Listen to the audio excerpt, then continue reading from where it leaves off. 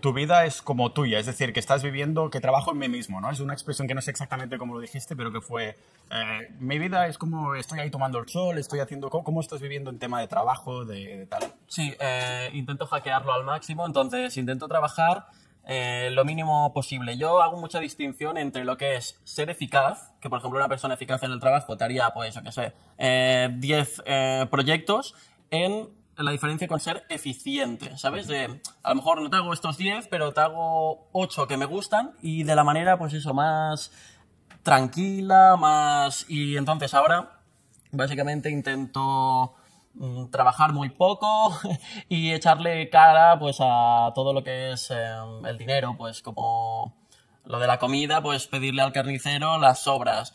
Eh, y lo que te decía antes, por ejemplo, del ejemplo del, del Ferrari. A mí no me hace falta tener un Ferrari para sentirlo y disfrutarlo. Si lo tienes tú y me subo en el tuyo, ya lo he disfrutado. Sí. Y eso, ahora vivo como mm, en una vida sabática, por así decirlo. Empecé un año sabático, ya me gustó, y es como una vida sabática, entre trabajos temporales, em, cosas de uno o dos días, pero sin atarme a casi nada. Ah, Intento no atarme a nada. Eh, Eso es la idea que estábamos transmitiendo de libertad, ¿no? Que no está directamente relacionada con vamos a pasta, pasta, pasta, sino que incluso, o sea, la de dinero que te habrás ahorrado haciendo un montón de estos truquitos y cosas por el estilo, ¿no? Ahora, por ejemplo, tienes el, yo que sé, que era como si eres menor de 30 años, tienes como algo Sí. de, de un tren o bus o cómo funciona esto. Ah, Verano- verano, verano joven. Vale, y entonces vas como con mil buses y mil Sí. transporte público o, o Sí. te, o te cuelas, ¿no? Entiendo que... Eso es. Vale. O sea, a mí me... Porque esto era hasta septiembre, pero no me preocupa porque, por ejemplo, yo que sé, truquitos para viajar.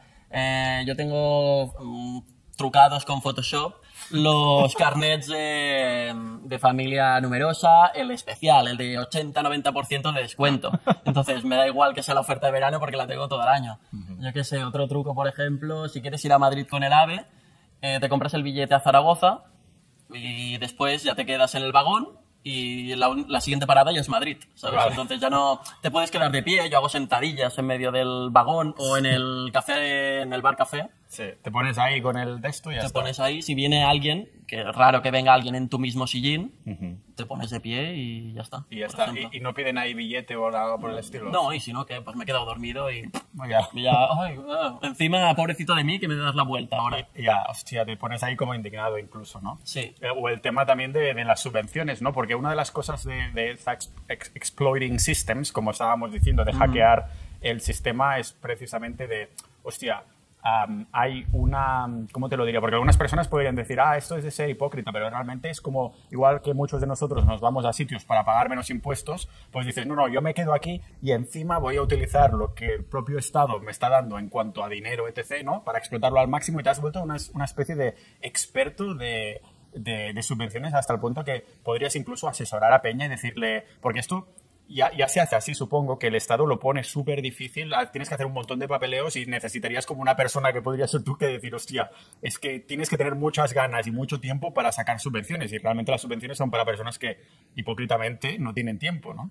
Ahí está. Bueno, de hecho, am, hay puntos de atención al emprendedor, por ejemplo, que te llevan todo. O sea, realmente lo que tú dices, yo podría llevarle subvenciones a amigos a cambio de una, de una comisión, por así decirlo, y yo no haría nada. Prácticamente me lo llevarían estos expertos. Porque sí que es verdad que a la gente le da mucha pereza el papeleo, pero con estos asesores mm, ya te lo hacen. Y mm, lo que dices es que te lo pongan difícil el Estado. Hay veces que incluso al revés. Por ejemplo, la última subvención esta que cogí de son 13.000 o 14.000 euros, al, al Estado le interesa darla. ¿Por qué? Porque es dinero europeo que si no dan este año, el año que viene les darán menos. Y encima con esto maquillan la- los números de ninis, porque se la dan a gente que ni, bueno, jóvenes que ni trabajan ni estudian. Vale. Entonces les va bien para maquillar los números, más todo esto. Y sobra muchísimo dinero. O sea, en la última subvención eh, habían como 14 millones y se gastó un millón y pico. De poca gente que lo ha pedido. ¿Sabes? Vale. En plan, de todos los amigos que lo pidieron, se la dieron. Pero igualmente así, sobró muchísimo dinero.